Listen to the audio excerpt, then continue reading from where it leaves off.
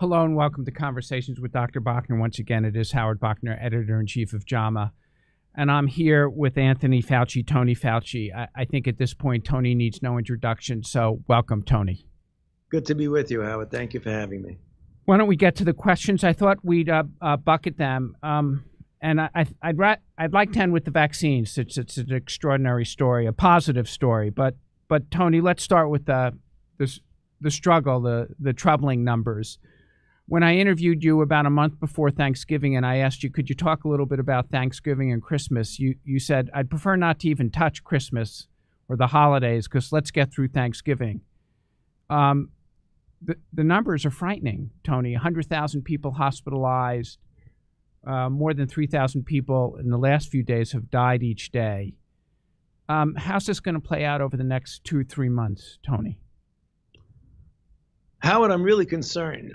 I'm concerned because the numbers that we're looking at as of yesterday and today, as you mentioned correctly, are record breaking. I mean, we have over 2,000 people who die each day. Yesterday, it was 3,000 people. We have, um, as you said, over 200. Yesterday was 241,000 uh, uh, new cases. We have over 100,000 hospitalizations, and we're we're approaching a totality of 300,000 deaths. It's 289 as of last night, 289,000. We have not yet seen the full brunt of the travel and the family uh, get togethers socially with dinner and friends over Thanksgiving.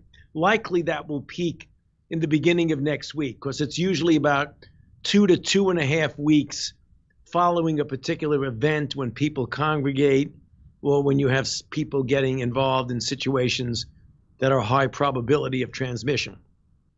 That would mean that given that today is the 11th of December, next week you're halfway through, you're going to go right a butt up until the beginning of the travel period of Christmas.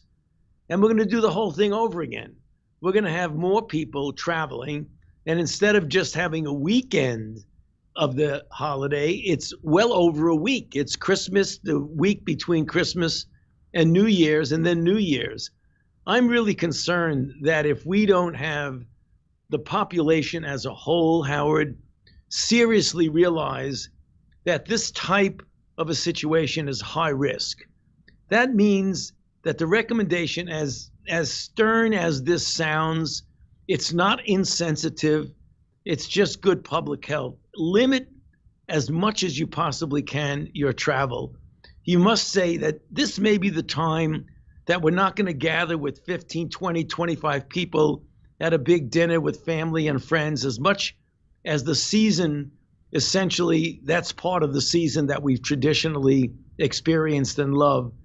This may be the time to say, you know, we're entering into a very, very difficult time of December, January, and into the heart of the winter. Although we're getting some relief, and we will very soon, as we'll discuss, I'm sure, in a moment, mm. with vaccines, the fact is, vaccines are not going to have a public health impact for at least several months.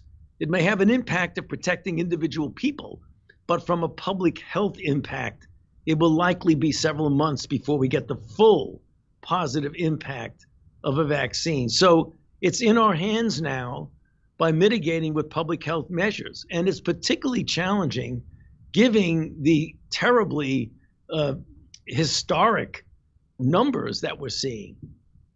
Tony, do you think um, I've been trying to figure out how to convince people to mass social distance, not travel, keep keep gatherings to very personal family members.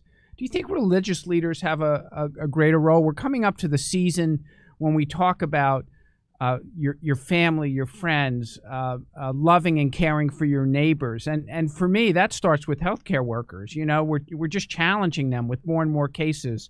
Or I go into a store and sometimes see someone without a mask, and I I think, you know, do they recognize that they're really unfair to the people uh, in that store? Do, right. do you think it's time for religious leaders to step up and really say, this is what you must do? This is this is actually part of what our code of our religion is. Yes, I think it's time for any group, any group, that has influence by nature of their position in the community should step up and try and help out to get people to appreciate the importance of the public health message. Uh, that could be religious leaders, that could be celebrity figures in entertainment, that could be sports figures, people who the community respects, who might say, well, if this person is doing it, well, then maybe I can do it. I mean, if you see us, a sports hero, or, or as you said correctly, Howard, you know, faith based people, religious leaders who do that. The thing that impressed me the most the other evening when I was, you know, catching a five minute flash on the TV was an ad showing a nurse coming out of an ICU completely exhausted, you know, with a mask on saying, please, you know, do something, wear a mask, don't crowd. I just came out of an ICU where there were 25 patients in there that are dying. It was really a very powerful ad. So, Tony, I, I want to turn to the good news, and there's quite a few questions already. Uh, on April 10th, 2018, uh, you wrote in JAMA with Barney Graham and uh, John Mascola, two of your co authors, Novel Vaccine Technologies. There's a quote In summary, emerging viral diseases with pandemic potential are a perpetual challenge to global health. That was obviously the case. And you talked about novel platforms, one of which were DNA or mRNA nucleic acid vaccines. That was two years ago. In January, late December, January, we get to genetic code. And yesterday, um, there's a public hearing about an FDA potential EUA approval of a Pfizer BioNTech COVID 19 vaccine. Had you ever imagined in your life the capacity of scientists to produce a vaccine in 10 months? Well, the answer to that, Howard, is an absolute no. Uh, I mean, in my wildest dreams, I, I thought it would be fast, but fast means if it takes seven years, maybe you can get it down to a couple of years. When we wrote that article in JAMA and talking about the vaccine platform technologies, even then, when I projected what would happen yeah. with an emerging infection, even then, two years ago, I didn't imagine that we would go from sequence identification to actually having a vaccine in somebody's arm, not a vaccine trial, not, you know, halfway through phase three, but actually having the vaccine in somebody's arm in less than a year, 11 months to be exact, from January to the beginning of December. It's, it would have been inconceivable to me a year or two or three ago to think that we were going to be successful in that. There's great news about that. Now it's our challenge to convince people that that wasn't rushed in a reckless way, that it was an expression of the extraordinary scientific advances made with vaccine platform technology and the investment that was made that we've discussed on a previous podcast of the hundreds of millions, if not billions of dollars putting up front to get vaccine doses made so that when the EUA is issued, you have vaccines that are ready the next day to go into somebody's arm. And that's where we are today.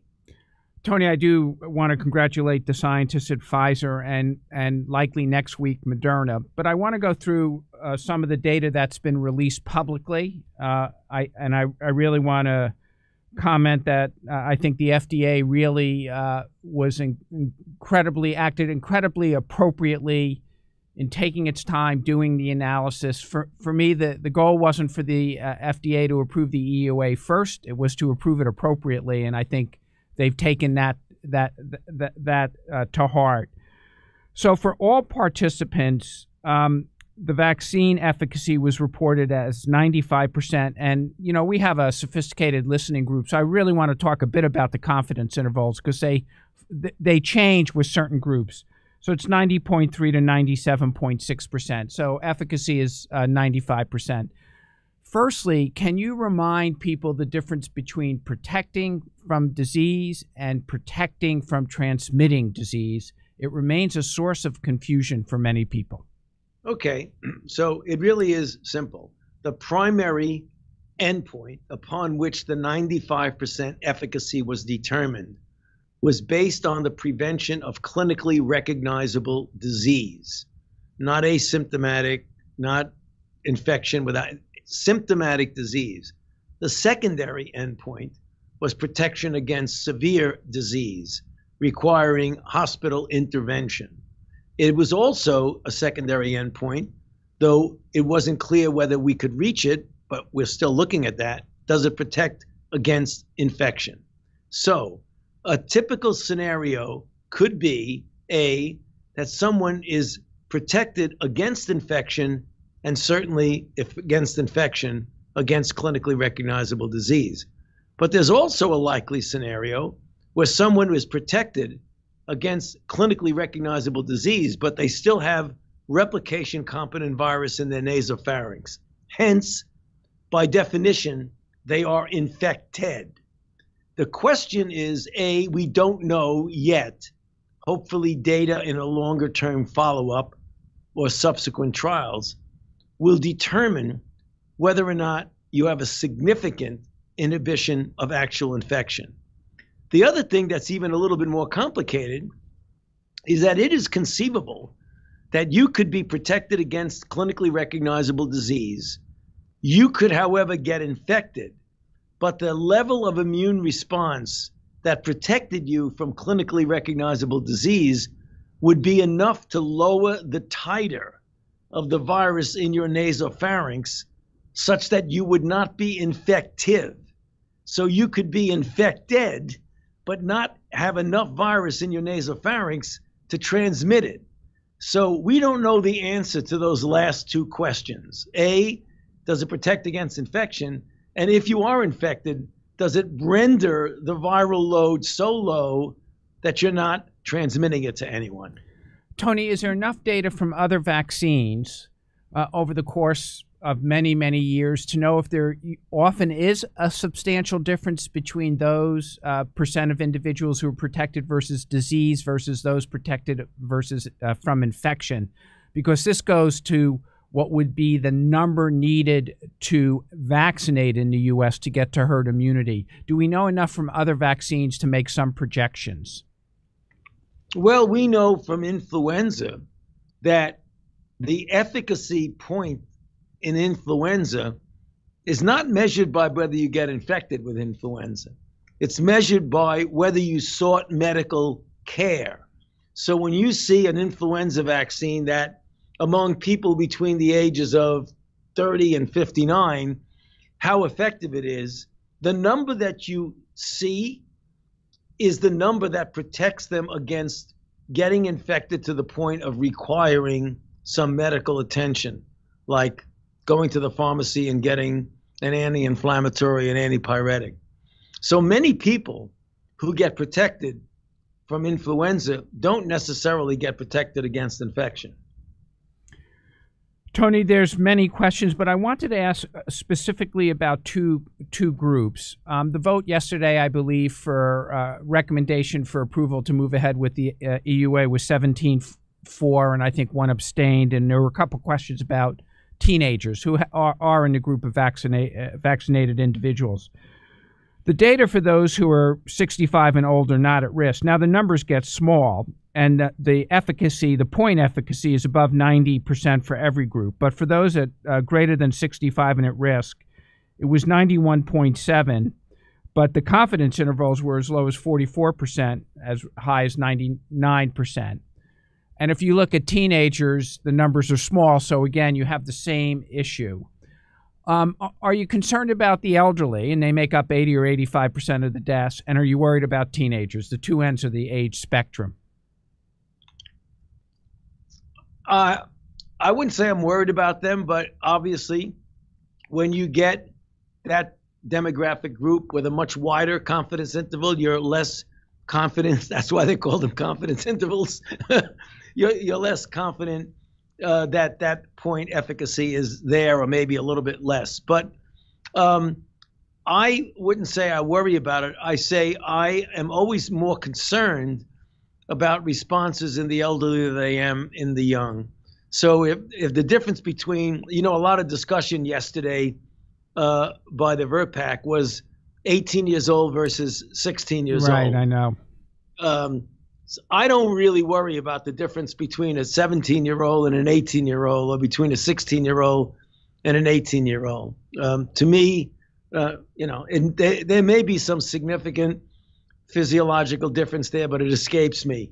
Uh, I am, I wouldn't say concerned, but I always worry about whenever we do a vaccine trial about getting a good degree of efficacy among the elderly. But the thing that was really, I wouldn't say surprising, uh, uh, Howard, but it was gratifying that when we looked at the data in the phase one study, we surprisingly found that the neutralizing antibody levels in the elderly was as good as it was in the younger group. We don't usually see that. So to see a 91% point efficacy in the elderly right now is not surprising. It would have been surprising, you know, a year ago before I saw the original phase one data, but now you know, it makes perfect sense to me. So I feel good about it. Yeah, the issue about, uh, you know, the younger cohort is always interesting to me as a pediatrician. I always think we, we always say children, but we should really say prepubertal and postpubertal. The 16, 17 year old is much more like a 25 year old and much less like uh, a, a five year old. Let's just continue with some of the vaccine questions that have already come in, Tony. Um, so um, obviously the reports out of the UK around allergy, um, you know, that wasn't discussed very much in the document or even yesterday. Uh, it has not shown up in the United States in the in, the Pfizer trial. And I didn't know if you have any sense about that because I'm concerned that it can be uh, used as a way to alarm people so that they will not get vaccinated. Do you have any sense about that? Yeah, as you know, there were two cases in the in the implementation of virus uh, of the vaccine study. I think people need to realize, and this is in some respects a, a good lesson for people to understand that safety considerations go well beyond the clinical trial. There's observation of potential adverse events, you know, well into the implementation of the vaccine distribution. So if you look at the numbers of people in the clinical trial, there were 44,000 in the Pfizer trial. Once you push the button and start distributing vaccines, you're going to be giving it to millions of people.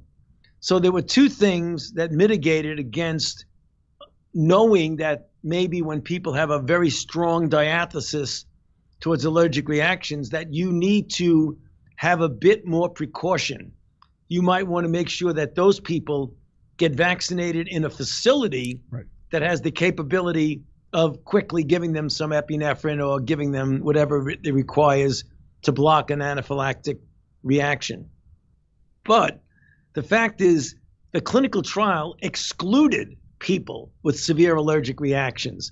So there was no way in the clinical trial to know what the vaccine would do to people with that sort of diathesis.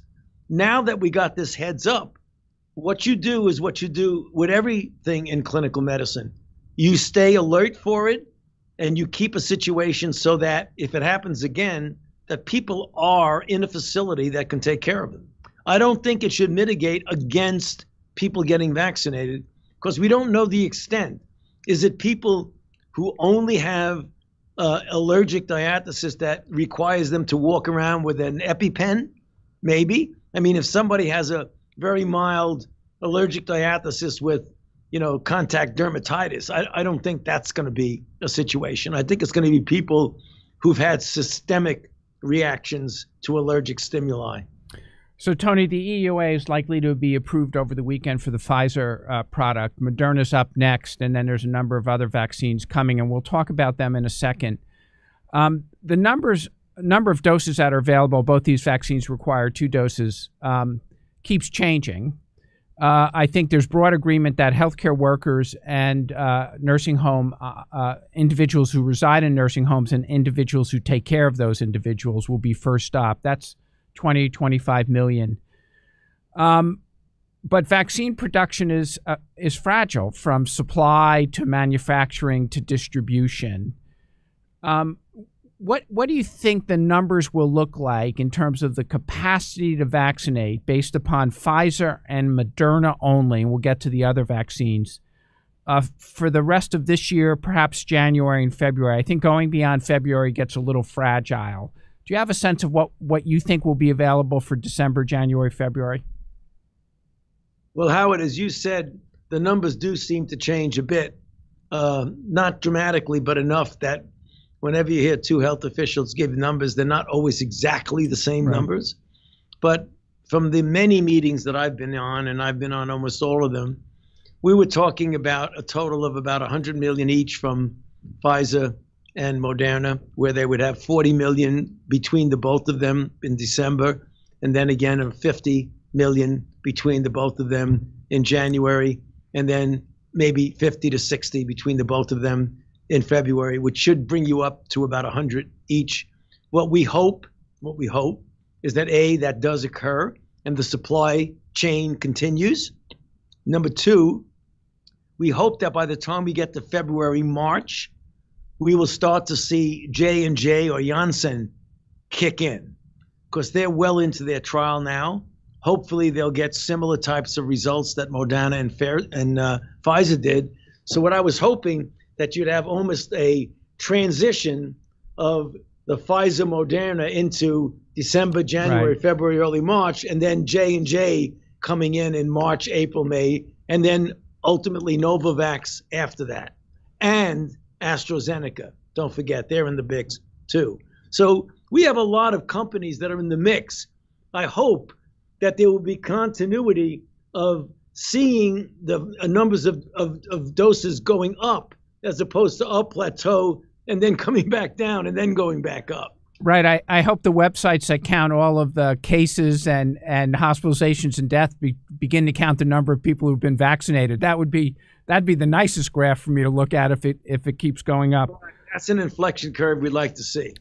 Tony, a lot of questions about 500,000 patients are diagnosed with cancer each year. Um, and quite a few patients are diagnosed with diseases that require immunosuppression or uh, are on immunosuppression drugs. Uh, vaccinations for those individuals. It's going to be very important to vaccinate them.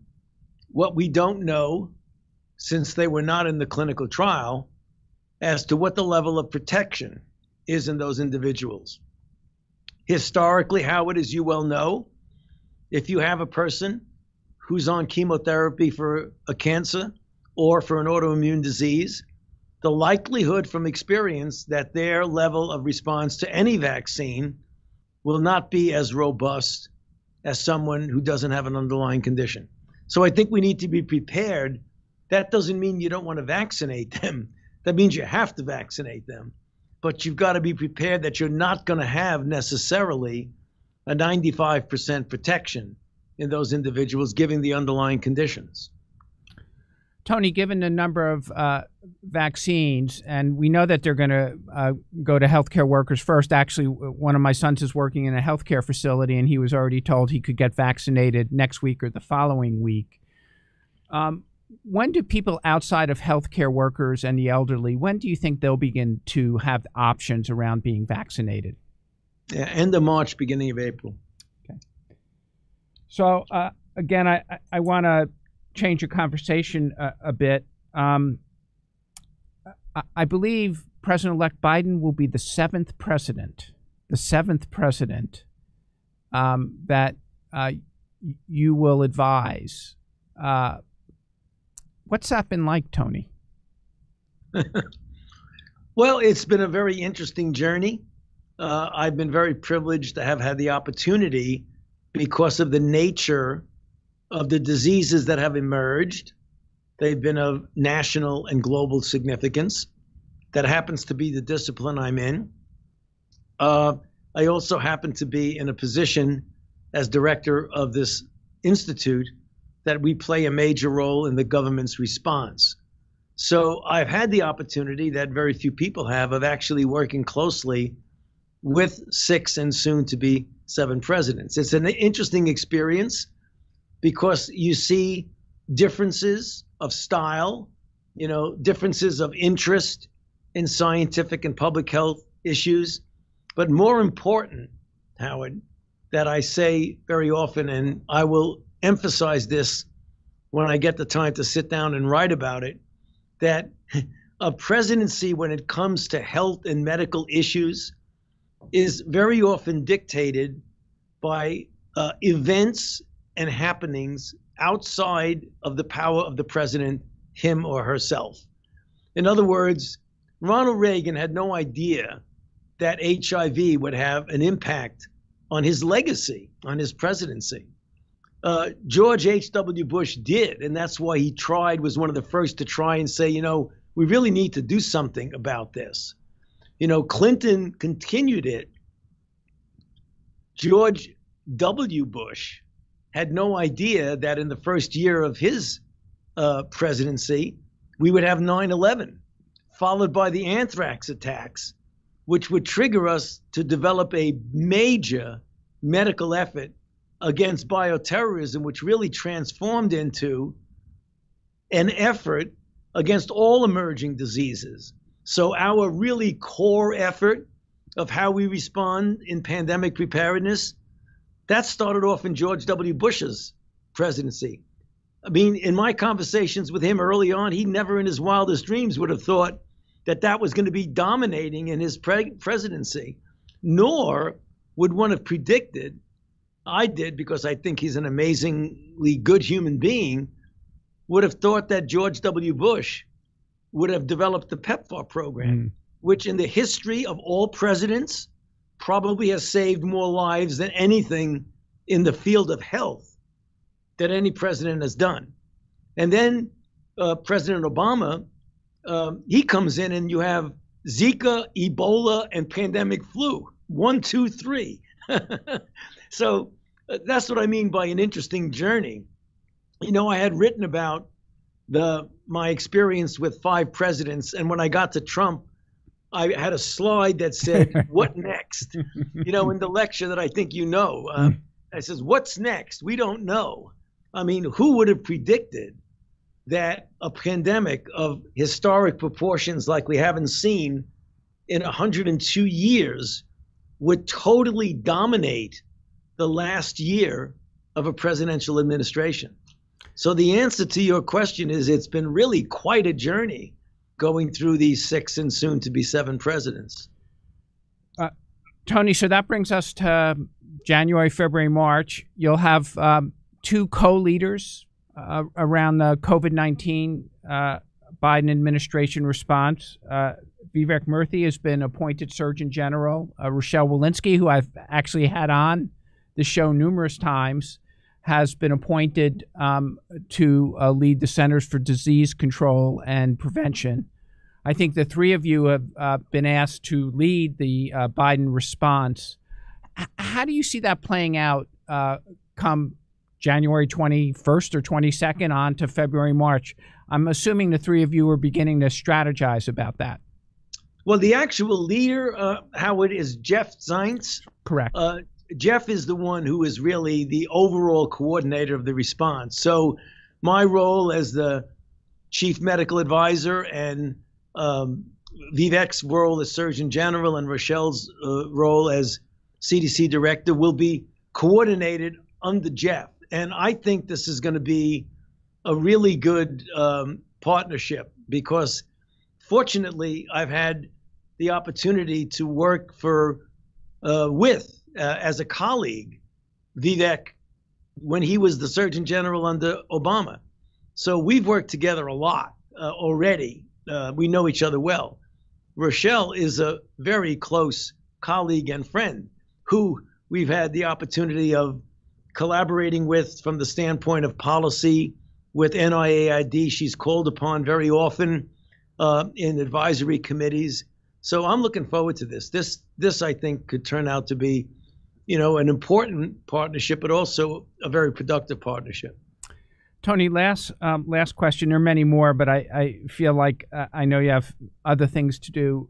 Um, you know, I was listening to a few physicians being interviewed, and um, you know they were talking about their own family members or their own uh, vaccine hesitancy, and they said, um, "Well, I want to hear what Dr. Fauci will say. Will he be vaccinated? Will he recommend the vaccine for himself? Would he be vaccinated? And would he recommend the vaccination, the vaccine, the immunization for himself, his wife, his children?" And I asked you before we came on if you minded that personal a question, and you indicated you would be comfortable with it. Could you respond to the medical community and the public at large about how you yourself will consider the vaccine? Yeah. Well, I'd be happy to do that, Howard. Having looked at the process by where this vaccine and how this vaccine was tested, the evaluation of the data by the Data and Safety Monitoring Board, the intense scrutiny given to the data by both the career FDA scientists and the VRBPAC Advisory Committee, and knowing what I know personally, having gone over the data, definitely I will get vaccinated and I will get vaccinated publicly in order to show that, in fact, I am willing to get vaccinated. And I would recommend it to my wife and my three daughters that they get vaccinated when their time comes. Thank you. I, I don't think there could be a stronger endorsement by a single individual in this country than hearing you be so clear uh, in, in stating that. Tony, you know, I always try to finish with something personal. Um, it's your birthday in a few weeks. I, I will not reveal your age. People are welcome to look it up themselves. It's in the public domain. Um, when I was uh, bar mitzvahed, the one thing the rabbi said is, well, you may be pretty smart, but you can't sing. So I will not sing happy birthday to you. But from everyone at JAMA and the entire medical community and the public, I wish you happy birthday, Tony. And uh, nothing but good health for many, many, many more years to come. Happy birthday, Tony, and stay healthy and happy new year. Thank you very much, Howard. Thank you for that very thoughtful uh, action on your part. I really, really appreciate it. Thank you. Happy holidays to you and happy new year. I look forward to getting together with you again soon. Other Take- side of the year. Bye bye, Tony. Bye bye.